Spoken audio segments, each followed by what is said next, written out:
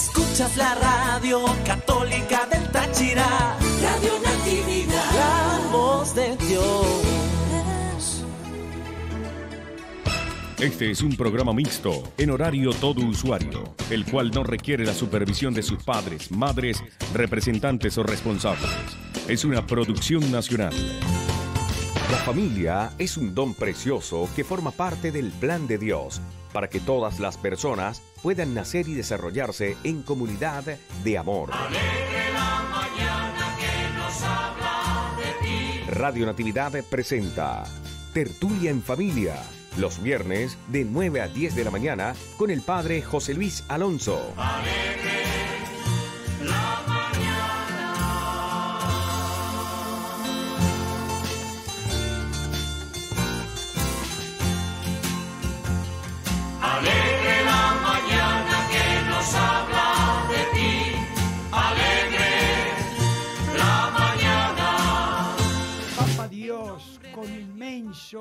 cariño, Jesús, nuestro hermano mayor, con toda su generosidad y el Espíritu Santo con su amor y alegría, nos desea un feliz día a todos y cada uno de ustedes. Vamos a escuchar la palabra de Dios. Moisés levantó la tienda de Dios y la llamó tienda del encuentro. Todo el que tenía que visitar al Señor salía fuera del campamento, se dirigía a la tienda del encuentro. Dios hablaba con Moisés y Moisés hablaba con Dios. El Señor hablaba con Moisés cara a cara, como habla un hombre con como habla con un amigo. Palabra de Dios, te alabamos, Señor. Qué escena tan hermosa y estimulante. Dios por puro amor, por propia voluntad, sin ningún mérito por parte nuestra, quiere encontrarse con cada uno de nosotros. Desea gozar de hablarnos permanentemente cara a cara, buscando solo llenarnos de Él, de su amor y compartir siempre nuestras alegrías para multiplicarlas y dividir nuestras dolencias, preocupaciones y dificultades. Lo que vivió y sucedió con Moisés fue un anticipo, una preparación de lo que haría realidad Jesús, que por su inmenso e increíble amor hacia nosotros, quedándose las 24 horas en el Santísimo Sacramento a nuestra completa disposición, diciéndonos con inmensa emoción y felicidad, ¿qué quieres que yo haga por ti?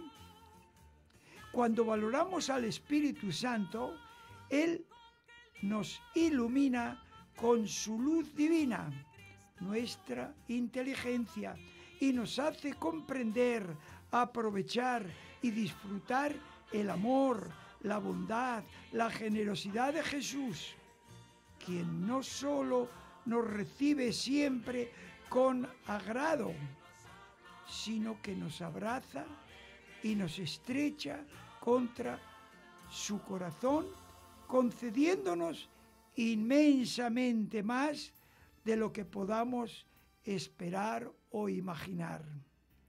Pero cuando vivimos por nuestra cuenta, movidos por nuestro propio espíritu personal, como hijos de Adán, no solo nos vaciamos interiormente, sino que nos debilitamos corporal y espiritualmente, causándonos un daño muy grande, porque buscamos llenar, satisfacer las aspiraciones profundas de nuestro corazón humano con bienes pasajeros, engañosos, temporales y a veces esclavizantes.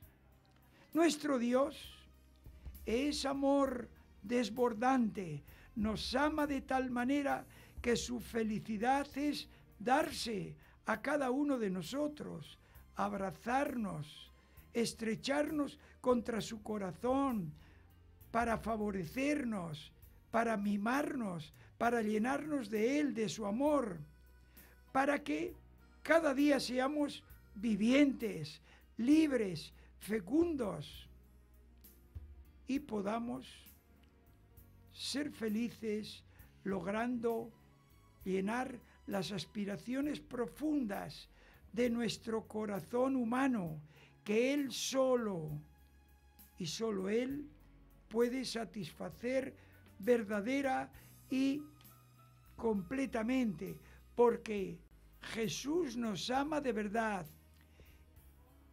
y quiere, desea apasionadamente atraernos hacia la tienda, el santuario de nuestro encuentro con Él.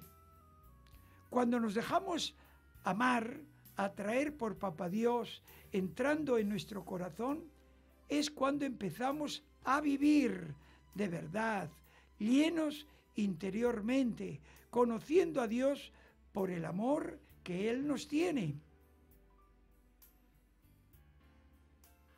Conociéndonos a nosotros mismos, descubriendo con asombro, gozo y agradecimiento el universo de cualidades y posibilidades que Papá Dios ha depositado súper generosamente dentro de cada uno de nosotros.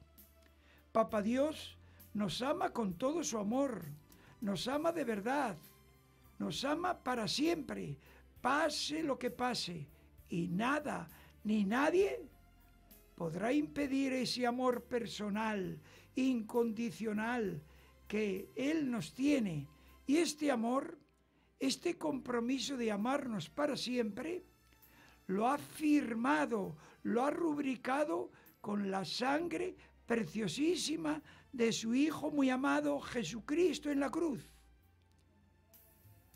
Y por si dudáramos de esta increíble y apasionante verdad, lo sigue actualizando cada día, todos los días, en la celebración de la Eucaristía en cada altar, en todas y cada una de las naciones del mundo durante las 24 horas del día. Si Papá Dios nos pide, nos ruega, nos suplica con todo su amor que acudamos a la tienda del encuentro, que entreguemos, que entremos a nuestro corazón donde Él nos espera para abrazarnos, estrecharnos contra su corazón, llenarnos de Él, de su amor, para que podamos hablar cara a cara con Él. Todos y cada uno de nosotros hemos de aficionarnos a vivir hacia adentro, a entrar al santuario de nuestro corazón, ya que allí, en nuestro interior, más personal, Jesús nos espera para conversar personalmente con cada uno de nosotros. Qué hermosa, gozosa, admirable, fecunda y santa sería nuestra vida personal si impulsados por el Espíritu Santo nos aficionáramos a entrar en nuestro corazón en la tienda del encuentro para hablar cara a cara con Jesús, para conocer de verdad a Dios, para conocernos a nosotros mismos, dejándonos llenar por Jesús de su amor. Nosotros mismos, dejándonos llenar por Dios de su amor, de su vida, de su felicidad ya que si valoramos en serio a Jesús que nos espera con inmenso e increíble cariño dentro de nuestro corazón, es como demostramos que queremos amarnos de verdad a nosotros mismos, que queremos tener salud integral en nuestro cuerpo y en nuestra alma. Todos, ricos y pobres, santos y pecadores, sanos y enfermos, estamos llenos de dificultades, de apuros, de situaciones difíciles en el cuerpo y en el alma. Y por esta cantidad de, de necesidades, todos necesitamos acudir a la tienda del encuentro, al Santísimo Sacramento del altar en el que Jesús está vivo y presente, real y verdaderamente, diciéndonos con todo su amor y alegría, vengan, vengan a mí, todos los que están cansados y agobiados, que yo les aliviaré. Sucedió en la India, un país tremendamente religioso. Un diputado hindú encargado por su gobierno de visitar todas y cada una de las escuelas de su región, llegó a un colegio católico. El director de dicho colegio le enseñó aulas, laboratorios, oficinas, biblioteca, eh, salas de estudio, los espacios dedicados a los deportes, pero no podía olvidar de mostrarle la capilla, ya que hubiera sido no hacerlo un detalle, un detalle de mal gusto en una nación sumamente religiosa. Momentos antes de entrar en dicha capilla, el director le dijo al diputado del gobierno, aquí está Dios presente, real y verdaderamente. Cuando salió aquel diputado, le dijo al director, si yo fuera católico, estaría todo el día de rodillas adorando a Dios. Nosotros, católicos, decimos, aseguramos creer en Cristo sacramentado, vivo y presente en el Santísimo del altar. Pero la mayoría, por no decir prácticamente todas las iglesias, están todo el día cerradas. Y los centros de santería, brujería, espiritismo, están abiertos, abiertas todo el día. Y aunque los que van a buscar ayuda orientación tengan que pagar y hasta esperar, lo hacen con gusto. Esta realidad tan triste, penosa y dañina nos tendría que sacudir profunda y continuamente, sobre todo a los sacerdotes, impulsándonos a abrir la iglesia, a promover la presencia real y verdadera de Jesús. Porque si Jesús está presente, disponible, para que acudamos a Él en todas nuestras necesidades, ¿qué podemos hacernos cada uno de nosotros sino acudir a Él? Porque si no acudimos a Jesús, buscamos sustitutos. Esto es más cierto que cuando brilla el sol hay calor, hay luz y energía. Siempre me acuerdo de un laico, de un hombre eh, que iba en su carro y cuando pasaba por una iglesia, la encontraba cerrada, pero su corazón quería entrar, tenía la feliz iniciativa de sacar un una tarjeta y la ponía por debajo de la puerta para decirle a Jesús, por aquí pasó alguien que valora tu presencia, tu amor. Esto lo podemos hacer también nosotros cuando pasamos por el, con el autobús o la buseta o la moto o simplemente que vamos caminando. Darle un saludo a Jesús. Decirle, aquí está tu devoto, aquí está tu hermano, chiquito, débil, pero que quiere aprovecharse, beneficiarse, gozar de ti, de tu amor. ¿Cuánto cambiaría nuestra vida, nuestra salud, nuestra espiritualidad si supiéramos valorar la presencia real, maravillosa, misteriosa de Jesús en el Santísimo Sacramento. Los párrocos, si hubieran laicos que dijeran, Padre, por favor, ábranos la iglesia por la mañana, por la tarde. Los párrocos dirían, si ustedes son personas fervorosas que valoran el Santísimo Sacramento, les abro todas las puertas, porque no tendré problemas.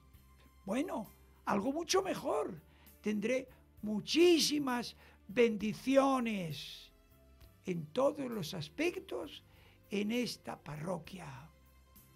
Pero si nadie reclama, si nadie pide, si nadie expone el deseo, los párrocos dicen con toda sinceridad, yo no puedo dejar la iglesia abierta porque los malandros entran a robar. Y esto es triste, pero más triste es que los que nos llamamos católicos, discípulos de Jesús, pues no tenemos ese fervor que debiéramos tener. No se trata de que pasemos toda la mañana o toda la tarde ante el Santísimo. Eso es prácticamente imposible para la inmensa mayoría, porque tenemos que trabajar, atender la casa, los hijos, eh, la comida, eh, la limpieza del hogar pero una entradita y le decimos al Señor, Jesús, gracias por quedarte con nosotros. Fíjese, eso cuesta un minuto y a lo mejor sobra el minuto, pero Jesús lo valora, lo agradece y lo recompensa súper generosamente. Otra faceta. Venimos a la, a la Eucaristía y tan pronto como el sacerdote nos da la bendición, ¡uh! salimos como cohetes. Bueno, no tenemos nada que compartir con Jesús, que tenemos dificultades en el matrimonio, en la familia, con los hijos, con los nietos, eh, dificultades económicas, dificultades eh, laborales. A veces estamos con dolencias y preocupaciones. ¿Por qué no quedarnos unos momentos y decirle Jesús, qué bendición el haber celebrado contigo este anticipo de la gran fiesta que nos preparas en el cielo? Porque la Eucaristía no podemos olvidarnos, es el anticipo, el ensayo de la gran fiesta que durará por toda la eternidad en el cielo. Nosotros hemos de profundizar en ese amor de Jesús que se queda las 24 horas del día a nuestra completa disposición. No nos dice Jesús, mira que vienes eh, con prisa, mira que vienes siempre con preocupación. Nunca nos pone mala cara, todo lo contrario. Acordémonos de aquel hombre sencillo que cuando terminaba su trabajo se iba al Santísimo Sacramento y se quedaba allá fijos sus ojos y su corazón en, en el Santísimo. El sacerdote se quedó asombrado. ¿Qué tendrá este hombre sencillo que está a ese ratito con tanta atención? Y le preguntó cuando terminó, hermano, dígame, ¿y usted qué hace ahí delante del Santísimo? Y aquel hombre, con toda sencillez, le dijo al sacerdote, Jesús me mira y yo le miro. Esos son los gestos de los que vuelan muy alto espiritualmente. Nosotros tenemos a Dios a nuestra completa disposición. Podemos hablar cara a cara con Él, como un amigo habla con otro amigo. Y cuántos milagros lograríamos si acudiéramos al Santísimo Sacramento. No podemos eh, descuidar este, esta realidad tan impresionante, tan maravillosa.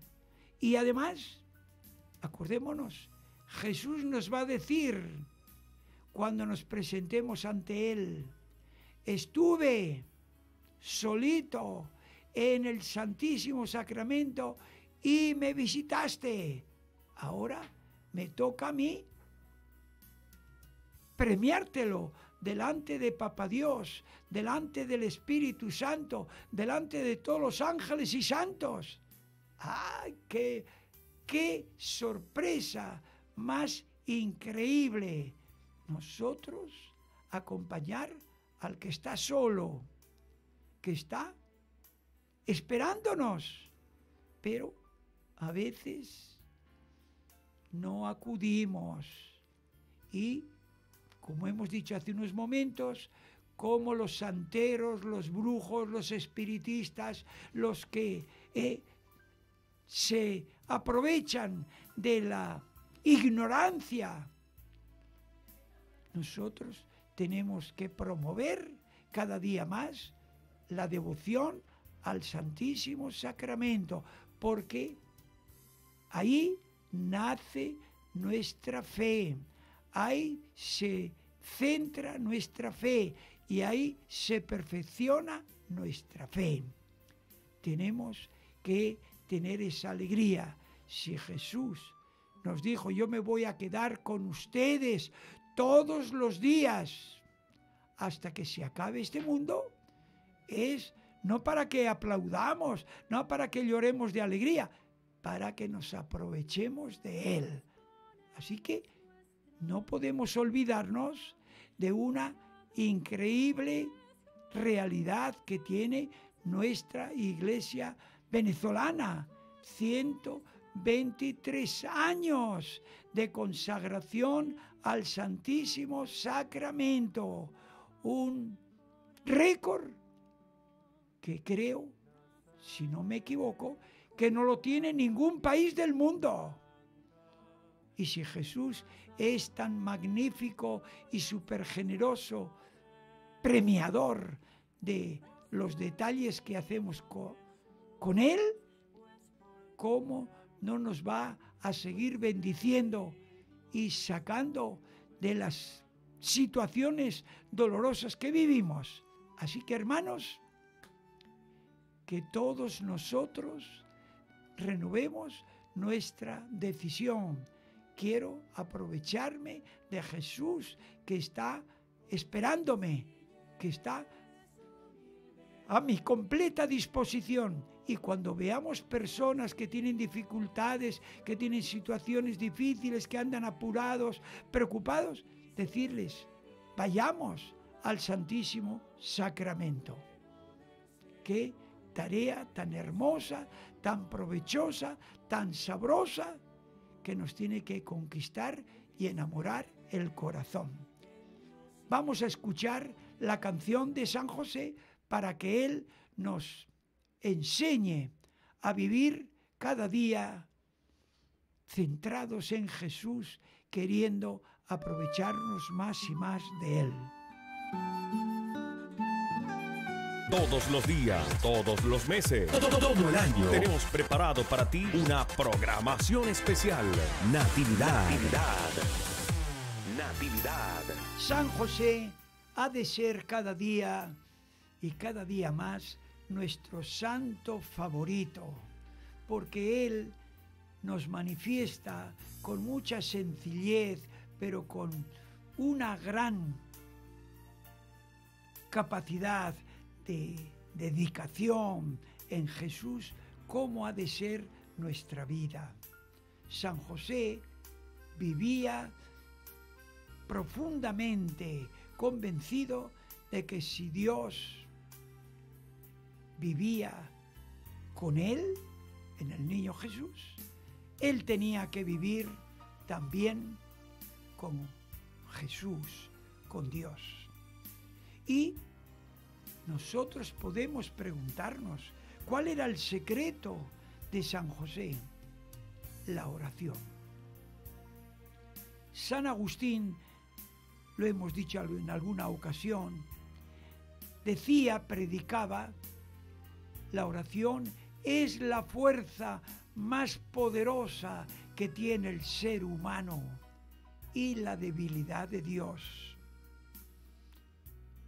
Esto lo vivía San José, lo disfrutaba practicándolo diariamente, a pesar de tantos apuros y dificultades como eran no tener trabajo, de que cuando le daban un trabajo el salario era muy deficiente y verse obligado a pagar los impuestos injustos y desorbitados del imperio romano nuestro santo de Nazaret, hablaba con Dios cara a cara, convencido de que esa era su fuerza, la fuente de todas las bendiciones. San José oraba con la misma facilidad que respiraba. Le traía Dios con su amor, gozando sobremanera de dejarse envolver por Dios, llenándose de su amor, comprobando, asombrado y feliz, que cuanto más valoraba la oración, más lleno se encontraba interiormente y más bendiciones experimentaba de Dios. Oraba con su muy querida esposa, la Virgen María, y sobre todo con Jesús, Dios hecho hombre, persuadido de que Él como esposo era el sacerdote, el representante de Dios en aquella pequeña iglesia que era su hogar. Esta oración familiar era diaria. San José no sabía, no podía vivir sin la oración y lo practicaba no solo personalmente, sino sobre todo en familia. Si cada esposo conociera su categoría divina de que él representa a Jesús en su pequeña iglesia, cuántos milagros sucederían en su vida en su matrimonio, en su familia. San José vivía en comunión amorosa, gozosa con Dios, convencido de que si Papa Dios conversaba con él como un hombre habla con su amigo, él también quería conversar con Dios, ya que vivía convencido de que la oración es cuestión de amor y los que se aman necesitan encontrarse y conversar mutuamente. Esto lo tenemos que aprender de San José, que cuando amamos a una persona o nos sentimos amados por una persona, nos gusta hablar con esa persona. Esto, esto nos lo tiene que enseñar el Espíritu Santo, porque ahí está el secreto de nuestra vida personal, matrimonial, familiar, laboral, en todos los aspectos. Nuestro santo de Nazaret sabía muy bien que el que se acerca al fuego se llena de calor y energía, y el que hace oración se llena de Dios, de amor, de vida, de alegría, de salud corporal y espiritual, de santidad, de esperanza. San José se sentía tan amado por Dios que estuviera donde estuviera, con salud o con dolencias, feliz o con preocupaciones, trabajando o descansando, su corazón se elevaba a Dios, alabándole y dándole las gracias por todo. Y esta realidad la comprende y la acepta con facilidad la persona que se sabe amada por Dios.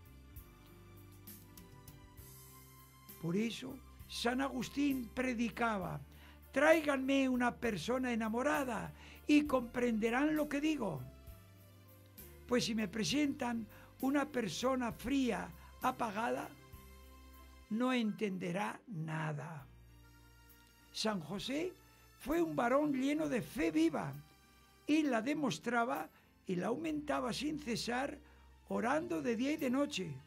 Unas veces oraba dedicando un tiempo especial, pero como trabajaba muy duro y se veía obligado a, a buscar trabajo, su oración era instantánea, con oraciones tan breves, casi siempre tomadas de los salmos y sobre todo en la sinagoga cada sábado, que respiraba orando y orando respiraba.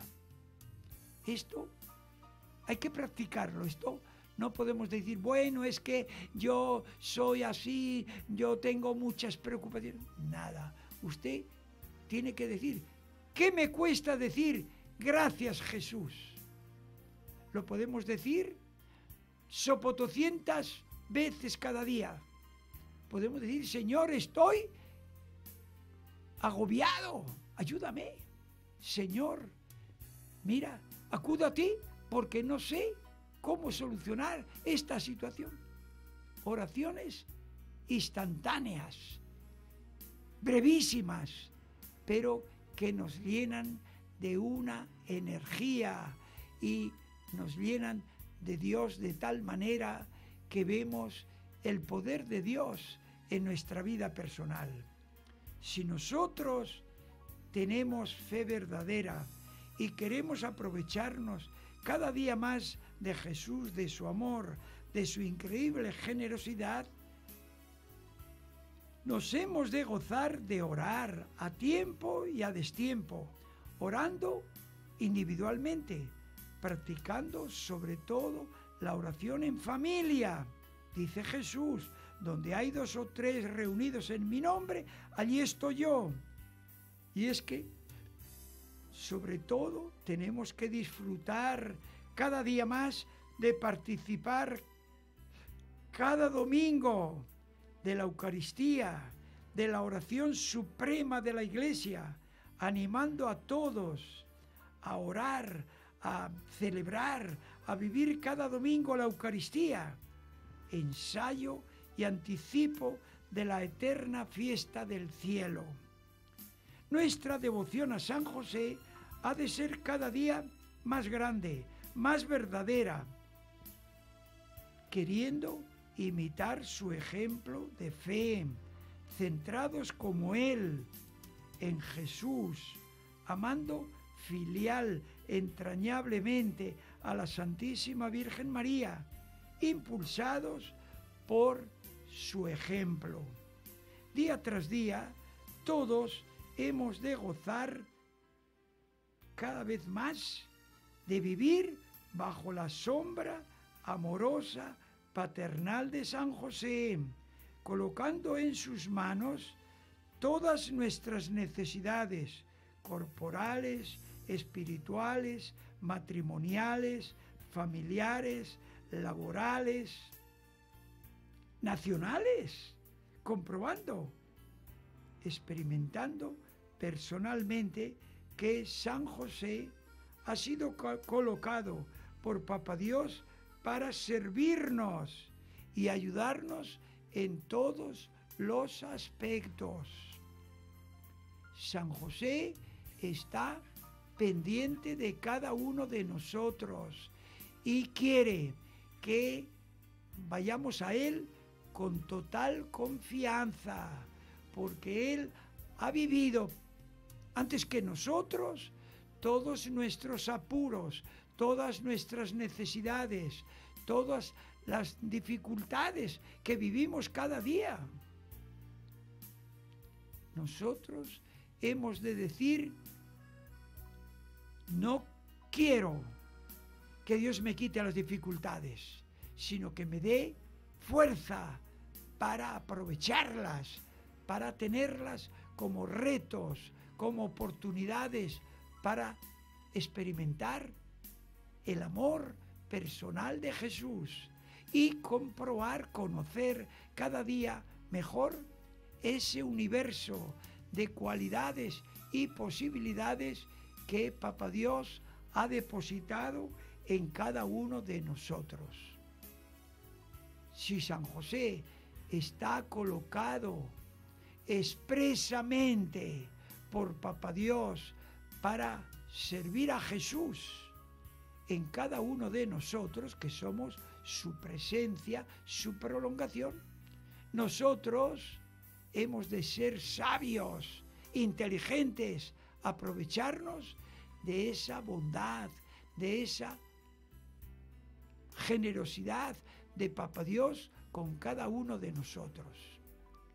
Tenemos que vivir bajo la sombra amorosa, paternal de San José. Esta ha de ser nuestra alegría. San José nos va a ayudar a vivir centrados en Jesús, a vivir ese cariño filial, entrañable, gozoso, contagioso a la Virgen María. Así que si nuestra vida está apagadita, está fría, está que no tiene eh, relieve, ni vemos que sucede nada especial, pues la culpa es o sería exclusivamente de cada uno de nosotros. Así que hermanos, tenemos un protector, tenemos un santo poderosísimo. Fíjense, recordemos siempre esa escena donde eh, en el Antiguo Testamento el faraón, el mandamás de Egipto, que tenía a su derecha a José, el hijo de Jacob, cuando venían a pedirle ayuda o víveres, él decía, vayan a José y hagan lo que él les diga. Este faraón era imagen, anticipo de lo que Papa Dios es con cada uno de nosotros. Cuando nosotros le pedimos algo a Papa Dios, Papa Dios con inmensa simpatía y alegría nos dice, vayan a José y hagan lo que Él les diga. Vamos a escuchar una canción a la Virgen María para que crezca cada día más y más nuestro cariño filial a la Madre de Dios, a nuestra Mamá del Cielo.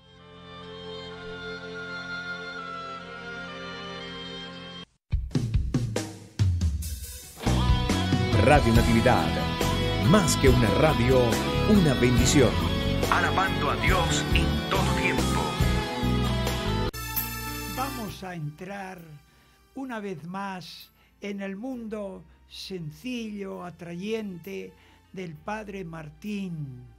Él con toda eh, amabilidad, con toda simpatía, nos habla de lo esencial de cada uno de nosotros.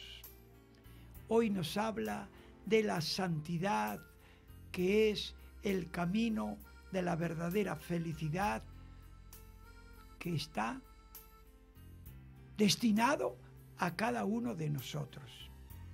Siempre he pensado que lo mejor del cielo son sus santos anónimos, los desconocidos, los que jamás serán canonizados ni aparecerán en ningún calendario, los San Juan García, los San Pepe Rodríguez, los San Luis Martínez, las Santas María González o las Santas Luisas Pérez.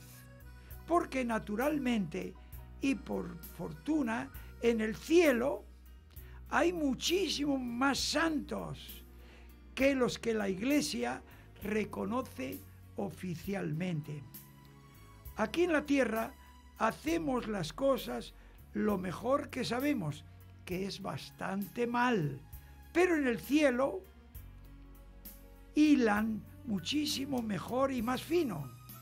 Así, en el cielo habrá montones de santos que cuando los veamos nos quedaremos asombrados. Tan buena gente que ellos mismos se habrán llevado una sorpresa tremenda al encontrarse con que arriba les rinden culto cuando ellos creían ser personas simples y ordinarias. Y es que resulta que para ser santo no hay que hacer nada extraordinario. Basta con amar mucho, amar de verdad, haciendo las cosas ordinarias con todo el corazón. Si ustedes me permiten una cita, voy a copiar una especie de decálogo para un ser humano que quería ser santo, que yo mismo escribí hace muchísimos años. Decía así, amarás al Señor tu Dios en cada cosa, descubrirás su voz, su luz, su sombra, su presencia amorosa. Cantarás cada día al levantarte, sonreirás al tiempo que te toca disfrutar. Al cruzar los umbrales de tu puerta, un momento detendrás tus pasos y dirás, soy una persona llena de alegría. Tendrás la sonrisa como una mano. Tendrás una mano a todos. Tendrás a flor de labios las palabras amor, claro, nosotros, qué alegría. Amarás el silencio del templo y al quedarte largo tiempo en un ángulo y decir, solo, Papa Dios, cuánto me amas. Al sentir en tus manos el roce del dinero, sentirás alegría, pero también un poquito de miedo. No creas que tu esfuerzo ennoblece el trabajo, sino que es el trabajo quien redime tus manos, tus energías. Amarás a tu esposa, a tu esposo, a tus hijos, y el pobre conocerá tus pasos, tu mano, tu corazón, tu nombre. Soñarás en ser mártir 30 veces al año y lo serás sopotoscientas veces en el afán de cada día. Te dormirás soñando que hay una mano suave, tierna, que te cierra los ojos mientras tú dices, gracias, Papa Dios, Jesús, Espíritu Santo. No sé si cumpliendo estos diez mandamientos ingresará uno en el cielo, pero la verdad es que yo me contentaría con cumplir la mitad. Y lógicamente sin milagros ni cosas especiales. Me temo que hemos encadenado indebidamente la idea de santidad con la de los milagros y cosas especiales, porque la Iglesia hace muy bien exigiendo el milagro como sello y garantía para declarar oficialmente que una persona es verdaderamente santo. Pero aun estos, los milagros, se realizan después de la muerte, porque lo que es para ingresar en el cielo, a nadie le van a pedir que haya multiplicado los panes, o haya dado la salud a los enfermos, o que haya flotado alguna vez en el aire. Por eso, más que hablar de olor a santidad, yo suelo hablar de olor a gente amable, simpática. Y en este mundo nuestro, estridente y dolorido, hay, gracias a Dios, mucho olor a gente amable que refleja a Jesús. Son personas de todas las edades y condiciones. Y uno se los encuentra donde menos lo sospecha. Son enfermos que sonríen ante el dolor, madres que no se rinden ante los problemas y siguen amando contra viento y marea, hombres que hacen el bien y apasionadamente su trabajo, jóvenes con tremendas ganas de vivir y de formarse, muchachas de corazón y de ojos limpios. Monjitas ancianitas que siguen teniendo el alma como jóvenes que acaban de enamorarse.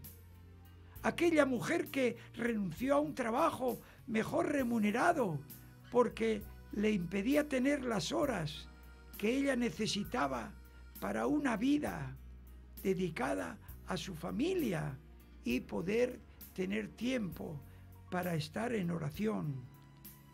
O esa muchacha que me escribe desde África, compartiendo conmigo que fue allí con afanes de compartir el Evangelio con aquellas buenas gentes y descubre que esas buenas gentes son quienes la evangelizan a ella. Esa muchacha ciega que dedica todas las horas libres de su vida hacer felices a los enfermos en un pabellón de enfermos con cáncer. Esos padres que acaban de superar el trauma que les ha supuesto la muerte en accidente de un hijo y que han decidido donar todos sus órganos para que otros enfermos puedan vivir mejor y más tiempo. Ellos y muchos más son los santos Martínez, los santos Pérez, los santos García, los santos Rodríguez, los 144 mil elegidos, que son lo mejor del cielo. De una forma muy sencilla, el, nuestro hermano y amigo, el Padre Martín, nos recuerda que la santidad es propia de todos los bautizados que viven con Jesús. No dice la Biblia en ningún momento que los santos son seres mm, increíblemente especiales, unos mm, atletas olímpicos del cielo. No, nos dicen, son personas humildes, personas sencillas que viven cada día con Jesús y reflejan el amor y la alegría del Espíritu Santo. Nosotros no podemos olvidarnos nunca que todos podemos decir con verdad, soy santo gracias a Jesús y soy pecador por mi culpa, pero quiero valorar cada día más a Jesús y la santidad de Él para que vaya disminuyendo mi condición de pecador o pecadora.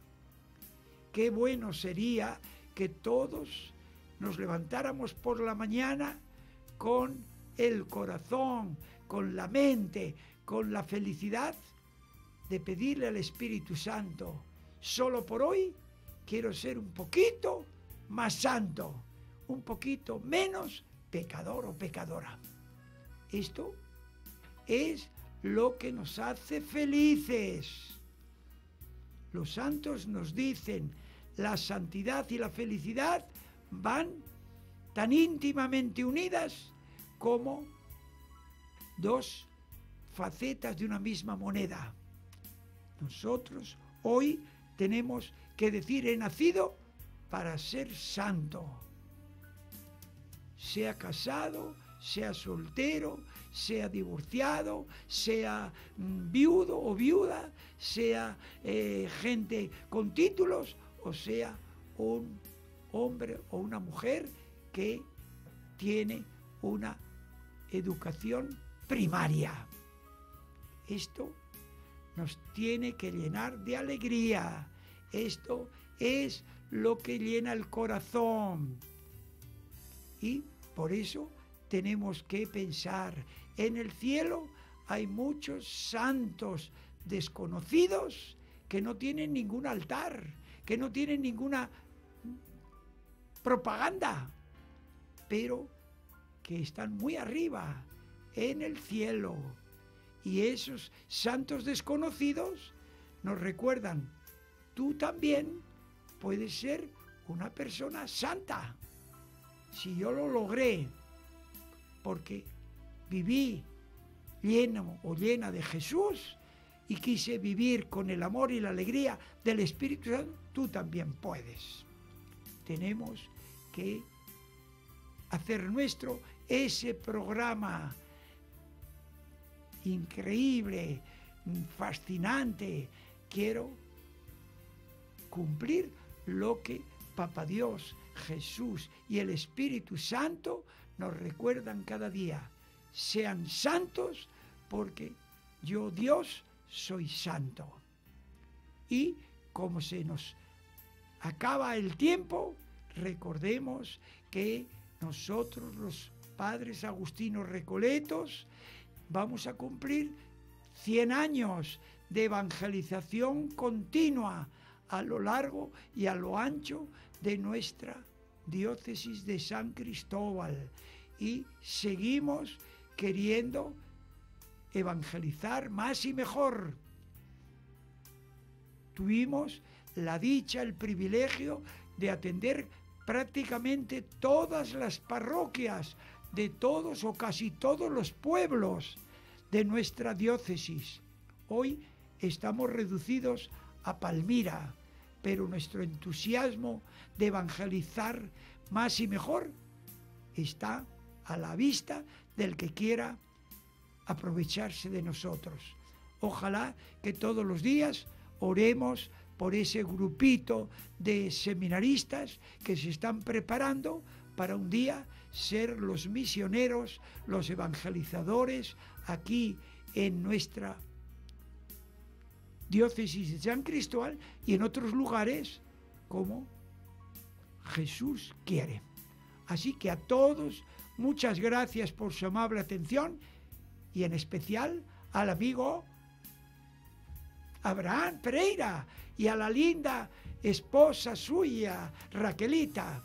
Así que que pasemos un día llenos de amor y de alegría.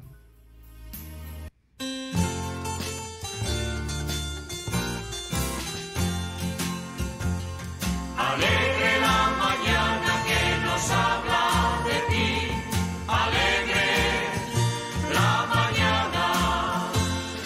En nombre del Dios Padre, del Hijo y del Espíritu.